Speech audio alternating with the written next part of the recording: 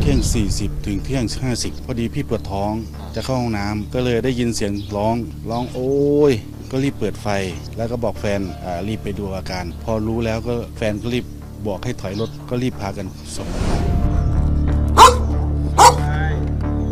าลเป็นเรื่องของลุงเมาเนี่ยค่ะ เมาแล้วก็เดินออกจากหมู่บ้านไป ปรากฏว่าเดินไปเนี่ยยังไม่กลับบ้าน รอวัยรุ่นมารับอ่าจังหวะเดินไปใกล้ๆรั้วบ้านชาวบ้านเข้าค่ะ ไปเจอพิกบูค่ะ ขย่ำลุงเลยค่ะ คุณผู้ชม สภาพคุณลุงเนี่ยแขนซ้ายบอกว่ากัดโดนเส้นเลือดใหญ่อะค่ะ คุณผู้ชม ถึงขนาดที่หมอบอกต้องผ่าตัดทุก 3 วันน่ะ เรื่องนี้เนี่ยเป็นเรื่องที่ เกิดขึ้นอีกแล้วแล้วก็เล่าบ่อยๆ จริง ๆ คือเขาแชร์ผ่านทางโลกออนไลน์นะคะทาง Facebook เป็นเรื่องของคุณลุงอนุวัฒน์อายุ 60 ปี ถูกพิกบู 2 ตัวค่ะ ชื่อว่าเจ้านับตังกับเจ้ามารวยค่ะ ขย่ำเข้า ช่วงของกลางดึกวันที่ 15 พฤษภาคมที่ผ่านมา แล้วก็นอนอยู่โรงพยาบาลตั้งแต่วันนั้น จนถึงประมาณวันที่ 7 นี่ก็ยังไม่ออกจากโรงพยาบาลเลยนะคะ คือคุณลุงเนี่ยเมาเหล้าแล้วก็เดินออกจากหมู่บ้าน ไปเจอวัยรุ่นแถวๆนั้น คือเขาบอกว่างั้นลุงรอก่อนแป๊บหนึ่งเดี๋ยวผมวนกลับมารับค่ะ ปรากฏว่าเดินไปแถวๆหน้าบ้านที่เกิดเหตุเข้า ก็เลยถูกพิษบูสองตัวเนี้แหละค่ะ รุมขย่ำทีนี้เขาก็บอกว่าขอเงินชดใช้หน่อยได้ไหมสักห้าแสนปรากฏโอ้โหมันไม่ได้อะเขาให้โอ้ห้าพันก่อนน่ะสุดท้ายต่างกันเยอะเลยต่างกันเยอะไหมคะคุณกวางเยอะนะคะห้าแสนใช่คือเจ้าของก็เลยบอกว่าอะงั้นยังตกลงกันไม่ได้ไปที่ศาลแล้วกัน ตอนนี้คุณลุงยังอยู่ในห้อง ICU น่ารักไหมคะ มันมันมันแยกเขี้ยวมันเลยน่ารักน้อยลงเลยอะน้อยลงใช่ไหมคะแต่มันอาจจะเป็นจังหวะที่คุณลุงเข้าไปในยามวิการหรือไม่นะครัคะบคือทีมข่าวอมรินทร์ทีวีไปพูดคุยกับญาติของคุณลุง ชื่อว่านางสาวจีดาภา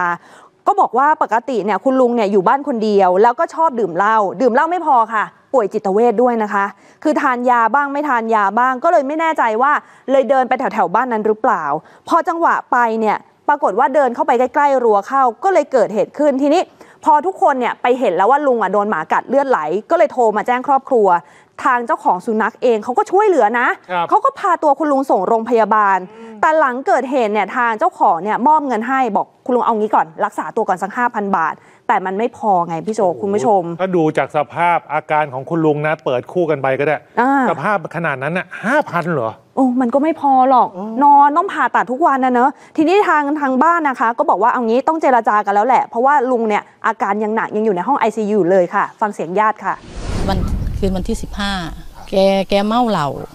บัดนี้แกเบอร์ยางไหมจ้ะไปบ้านอีกหมู่บ้านหนึ่งแล้วบัดที่นี่มีไอ้มีเด็กหน่อยอยู่ในหมู่บ้าน ไปเห็นแกอยู่มุมทั้งโรงเรียนเพิ่นก็เลยควักเอื่นคนนั้นว่าให้มาส่งบ้านแหน่ไอ้คนนั้นก็เลยว่า เดี๋ยวอันให้ถาผมอยู่นี่เด้อแล้วผมไปเติมเงินก่อนไอ้มีอีกเด็กหน่อยสองคนขี่รถมอเตอร์ไซค์ตามหลังมาบัดนี้ก็เลยเหลียวเห็นว่าคนคนที่ถึงมากันน่ะนอนอยู่ข้างถนนแล้ว เพราะว่าเห็นไฟ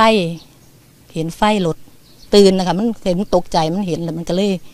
อยู่ข้างคนเจ็บอะค่ะถือถือว่ามากัดแล้วนะคะเขาก็เลยขี่รถไปอีกตรงสะพานเลยโทษเอินรถรถกูภัย อ๋อที่เขาบอกว่า 5 0 0แสนเนี่ยขอจบเลยค่ะ5 0 0แสนปั๊บไม่ว่าจะบาดเจ็บพิการหรือล้มตายเขาจะไม่ใช่เรียกร้องอีกขอให้ค่ะจบแค่ 5 0 0แสนแต่ทางฝั่งเจ้าของหมาเขาก็บอกว่า คือเงินมันไม่พออะที่บ้านทุกคนก็มีภาระกันหมด แล้วค่ะ คุณลุงเอง ไปยืนเมาแล้วป้วนเปี้ยนอยู่แถวรั้วเนี่ย มันก็อาจจะโทษความผิดของหมาอย่างเดียวไม่ได้ เพราะวันนี้เราได้ไปคุยกับเจ้าของหมาด้วยนะฮะคุณผู้ชมครับ คือคุณโชค แกบอกว่าอะที่บ้านเนี่ยนะ เลี้ยงเอาไว้ 2 ตัวเจ้านับตังกับเจ้ามารวย ถามว่าทำไมต้องเลี้ยง เลี้ยงเพราะว่าที่บ้านเขาเลี้ยงไก่เลี้ยงเป็ดเอาไว้ ก็ถูกสุนัขแถวนั้น เข้ามากัดไก่กัดหมูตายเป็นประจำเลยต้องเลี้ยงพิษบูเอาไว้เพื่อมาปกป้อง ฟาร์มไก่ฟาร์มหมูของตัวเอง แล้วเอาจริง ๆ คือล้อมรั้วลวดหนามเอาไว้ด้วย ถมที่เอาไว้พร้อม ตอนช่วงกลางดึกถึงจะปล่อยมันออกมา เพื่อให้มันวิ่ง เฝ้าบ้านเฝ้าไร่เฝ้าสวน แต่ตัวของคุณลุงแกเนี่ยคือมายืนเกาะแกะอยู่แถวบริเวณ พื้นที่ที่มันคาบเกี่ยวกับรั้วบ้านผม ยามวิการด้วยนะ เมาด้วยนะ ผมก็รับผิดชอบค่าเสียหาย 5,000อะอย่างที่ทราบกันดี แต่พอเขาเรียกมา 5 0 0แสนเนี่ยโอ้โห 10 เท่าเนี่ยมันก็ไม่ไหวไงแล้วหลังจากนี้คงต้องมีการพูดคุยกันแหละ เพราะเอาอย่างนี้จะขอจ่ายเป็นรายเดือนเดือนละ 5,000เนี่ย จ่ายไปจนกว่าคุณลุงเขาจะรักษาหายอย่างนั้นได้ไหม เจอกันคนละครึ่งทาง เพราะจะมาโทษหมาผมอย่างเดียว มันก็ไม่ถูก ตอนนั้นประมาณเที่ยง